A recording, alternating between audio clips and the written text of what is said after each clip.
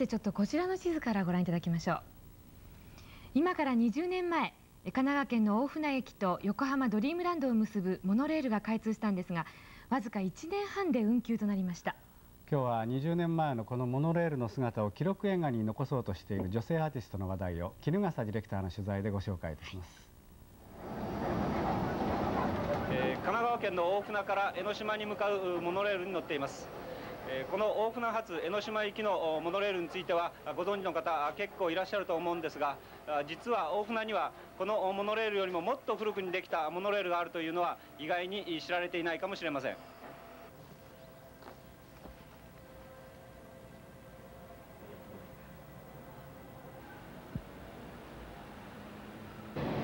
ここがドリームランド行きモノレールの大船駅です、現在この中がどうなっているか訪ねてみたいと思います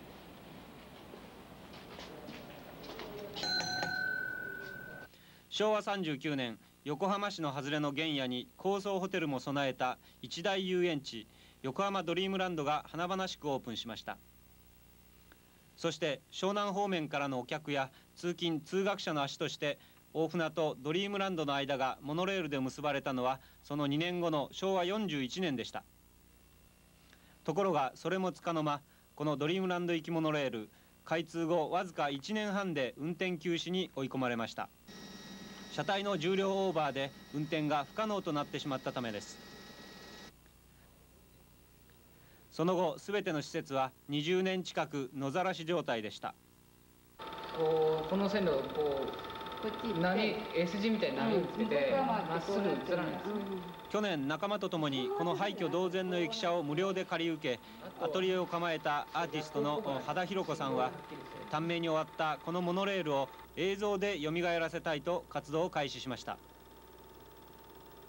たまたまなんですけどね1年半でその、えー、まあはっきり言って設計のミスがあって止まってしまったわけですけれどもその後ねこの首都圏の中で駅っていうのは本当は機能してて人が行き交うところなわけですよ。それがそのままのされていたっていうのは、あるね。あるすごい偶然なんだけれども、あのそんなとこはちょっとないわけですよね。だからそういう魅力はやっぱり大きいなと思うのと、それでその走っていた頃のその華やかなあの時のモノレールっていうのがやっぱりねなんとなくねやってるうちにこうあの頭に浮かんでくるわけですね。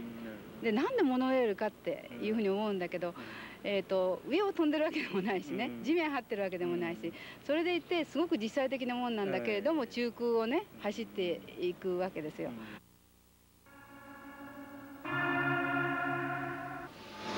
ごめんください。あのですね、私たちあそこのあのモノレールの駅に去年からあの仕事場を持ってやってるあの絵を描いてるあの羽田と申しますけれどもあのモノレールが通った頃のことをご存知の方を探して今いろいろお話を伺ってるんですここ開通した日はもう大変ななんかお祭りみたいな感じだったですか？そうねあの向こうはねあのあの駅が駅のとこからね、えー、いっぱいでしたよ。あのー、その経験を。乗ってね、えー、それでドルームまで行ってきたんだからあ、そうですか。うん、だからね、うん、それは分かってるけどもね。えー、でも気持ちよかったよ、話話はね、高いとこずっと取って下を見下ろして通るんだからね。あのおばあさんすごく良かった。ね、うん、本当良かった。うん、意外だった、良かった。えー、ここはあドリームランドモノレールのちょうど中間地点にあたります、えー、ここは駅ではなかったようなんですがドリーム号とエンパイア号2台のモノレールがすれ違うために設けられたところです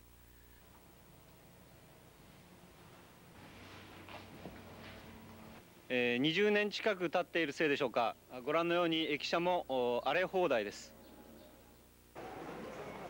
こんにちは。えっ、ー、と電話いただいた中山さんどうもはじめまして今日はどうもありがとうございました。このこの辺の場所これはだから当時の1966年だから。これこれじゃない？これはどこどこで手に入れたんですか？これはドリームランドの人にコピーしてもらった。あそうですかこれはいいつ頃？やっぱり1年前か2年前か。あそうです。あそうですか。2年前ぐらい。1年前ですそれはドリームランドのあの駅っていうかそっちの方に落っこってたもん、えー、これ怒ってたんですか、はい、これはもう車体が壊されてなくなってから、えー、あの車庫の中をちょっと覗いたら下になんか丸いもの変なものを見てたって。これね、はい、これがじゃあその亡くなった消えたモノレールの、はい、遺品ね。遺品ということですね。ということが出てるんですけどこれがねあの開通の時のなわけパンフレットでドリームランドの方が。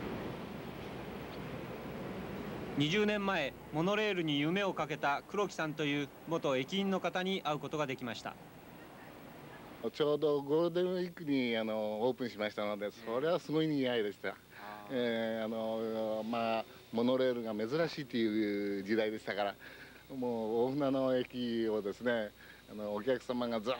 ーっともう並んでですね、えー、あの改札も何回かあの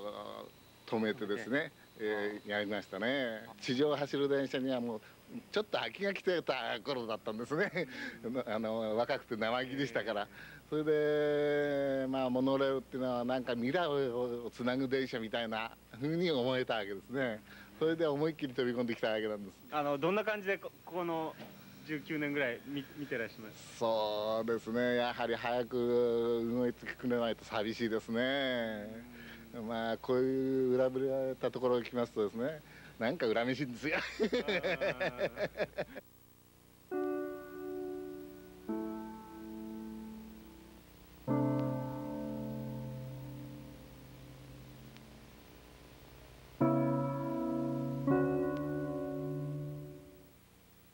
のその映画のティームっていうのも、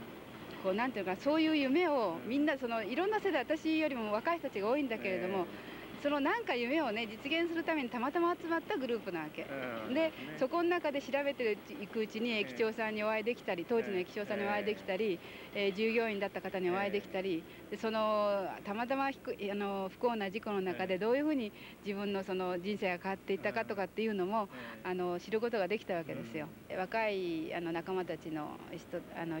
2人なんですけれども模型を作ったことがあるっていう人がいましてね。でそれは成功に至ってないんですけど、今回それを作って、あの少しね短いところだけれども走らせてみようと。それを映像そう 映像にしようというふうに今言って。そうです。あのちっちゃいものでね、でも映像にすればこうわりかしこうリアルに撮れるわけですよ。だからこのホームの端から端ぐらいでもいいから、えー、通してみたいなと思ってるんですけどね。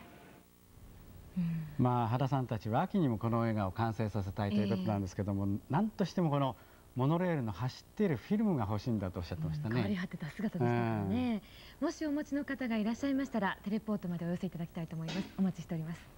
さてまあ